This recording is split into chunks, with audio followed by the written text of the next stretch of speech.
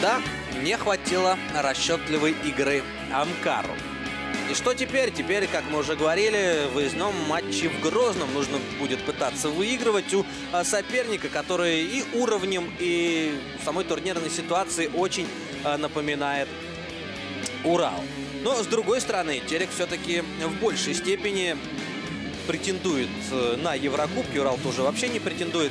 И, соответственно, может быть, э, игроки из Грозного будут гораздо более мотивированными через неделю. Точнее говоря, не через неделю. Еще раз э, подчеркиваем, что следующий тур состоится среди недели. Начнется по-моему, 11 числа, а может быть даже и 10 мая. Ну и вот уже через неделю Амкар будет вновь играть дома, э, также против э, мотивированной Уфы, которая также мечтает не оказаться в зоне стыковых матчей.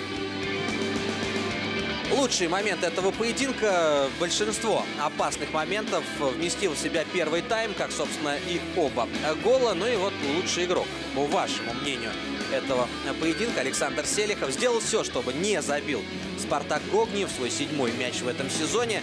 Но удача была не на стороне э, голкипера. И действительно, ошибка обороны очевидна. Абсолютно один был Гогниев. Это один из лучших ударов, наверное, второго тайма. Богдан Будко э, приложился справа и по хорошей траектории летел мяч. Но все-таки в угол ворот украинский защитник не попал. Ну, э, так же, как и Гигалаев чуть позже, который наносил удара э, с разворота. Вот этот эпизод, даже не то, что с разворота, а ножницами. Падение. Ну а в концовке поединка били ключом. Эмоции, может быть, не все ожидали, что именно такой будет концовка с удалением, с э, ударом соперника прямой ногой. Но скорее все-таки эпизод был игровым, да, а не кто-то кого-то за что-то пытался больно ударить. На этом все, друзья. Мы прощаемся с Пермью на неделю. С вами футбол смотрел сегодня Сергей Дерябкин.